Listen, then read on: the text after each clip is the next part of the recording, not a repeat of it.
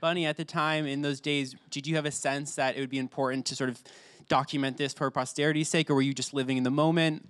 Living in the moment and pretty much a wild, out of control drunk. Yes, I was actually a twink at one point. now I'm twink, twank, twunk. Um, but uh, we didn't document the first couple of years because we had no idea that Wigstock would be successful. It was um, pretty much financed by the club across the street, the Pyramid Club, as a way to showcase acts from the pyramid.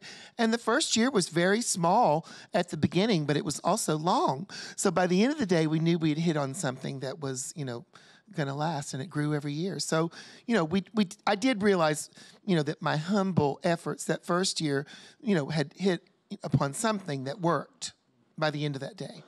You know i have never been to wigstock and for maybe those who aren't as familiar what is it about this festival that makes it so special in your eyes well, one thing is that it has a Mardi Gras feeling, which we need one of those up north, um, where the audience is encouraged to come in wigs.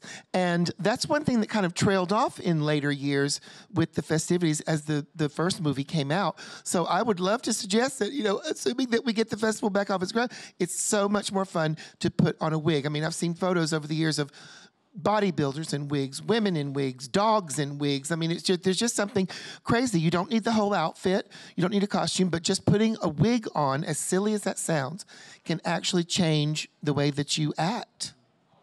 Wig therapy. Can you imagine? yeah, wig, wig. therapy. Exactly. What about you? My neck Chris? needs therapy from this wig. you know, watching the the movie in '95. What about? How did that reach you at that time?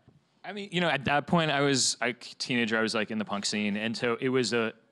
My understanding of New York City for the first time was the East Village was like the the, the Queens were being more punk than the punks. I mean, the idea of like uh, putting on a wig and heels was more uh, subversive than you know spiked collar and a leather jacket, and that I really understood that, especially in going through this footage, is like how radical it was actually at the time.